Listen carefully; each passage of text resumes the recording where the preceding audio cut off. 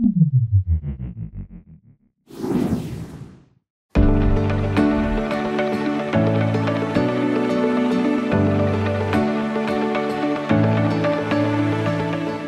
Del 1 al 7 de agosto se celebró la Semana Mundial de la Lactancia Materna y el Instituto Mexicano del Seguro Social, IMSS en Quintana Roo, llevó a cabo una serie de actividades para promover este importante acto de amor. Iraira Iracén Rodríguez Vela, coordinadora de pediatría del Hospital de Ginecopediatría del IMSS número 7, destacó la relevancia de la lactancia materna durante las pláticas y capacitaciones. Instituto Mexicano del Seguro Social este, eh, tiene un compromiso eh, directo con la lactancia materna y desde 1981 el instituto tiene un programa como tal bien establecido de lactancia materna.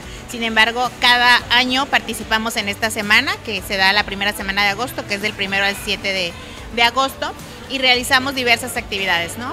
Desde la promoción de la lactancia materna nuevamente, como pueden ver ustedes aquí en este momento, pues un mural, este, pero durante a lo largo de todo el año realizamos más actividades. ¿Cuáles son aquellas? Por ejemplo, en este hospital específicamente, Hospital de Ginecopediatría, eh, fomentamos la lactancia materna para que sea más exitosa. Tenemos em, un área de parto amigable, eh, una sala donde la mamá puede estar con su familiar, puede tener acceso a líquidos, este, puede estar de forma más relajada, donde tenemos este, pelotas, tenemos hamacas y la mamá pasa más tiempo y de alguna forma le permite estar más tranquila durante su trabajo de parto. El IMSS Quintana Roo, a través de diversas estrategias como pláticas, consejería, capacitación y chequeos, busca promover, proteger y fomentar de manera permanente la lactancia materna. Esta práctica no solo fortalece el vínculo entre madre y recién nacido, sino que también ofrece numerosos beneficios para ambos. Rodríguez Vela subrayó que la leche materna es un alimento natural insustituible y fundamental para el inicio de la vida. En todos los hospitales con atención obstétrica se promueven actividades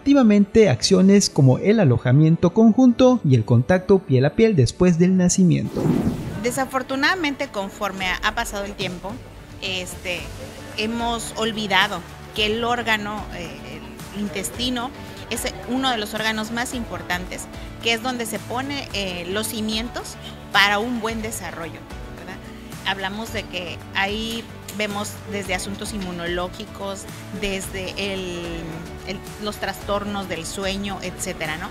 Pero estos ponen los cimientos para que un niño tenga un apropiado desarrollo. Desafortunadamente, conforme o como nos dimos cuenta, es porque esos niños que no se eran alimentados a la, leche materna, sino con fórmulas, presentaban más infecciones, más recurrencias al hospital, ¿no? Además, se capacitan a mujeres embarazadas en técnicas de amamantamiento y extracción de leche materna en los tres niveles de atención de salud. La Semana Mundial de la Lactancia Materna de Lins Quintana Roo concluyó con un fuerte a la comunidad para continuar apoyando y fomentando esta práctica vital para el desarrollo y bienestar de los recién nacidos. Con imágenes de Javier Celis informó para Notivisión Víctor Salazar.